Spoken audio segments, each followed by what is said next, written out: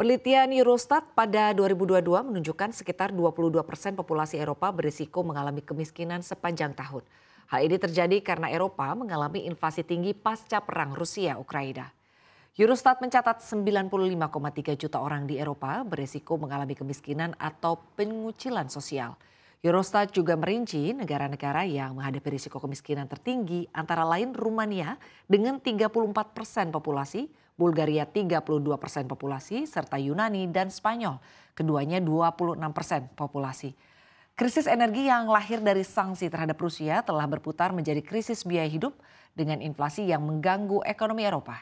Situasi ini berujung pada resesi dan menurut data negara yang mencatat penurunan PDB tertinggi antara lain Irlandia dengan penurunan 4,6 persen, Lituania turun 2,1 persen dan Belanda turun 0,7 persen.